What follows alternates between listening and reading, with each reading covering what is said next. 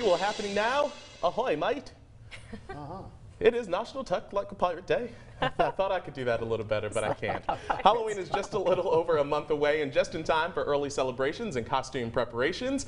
Today is National Talk Like a Pirate Day, so whether you have your own pirate ship replica like this one, or if you just head out and get an eye patch, change your voice up a bit, and call it a day, today is the day to celebrate.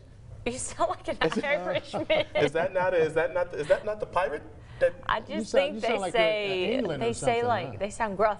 Yeah. Arr. Well, I can't do that. Arr, You sound like a leprechaun. I'm pretty much the furthest from gruff, but okay.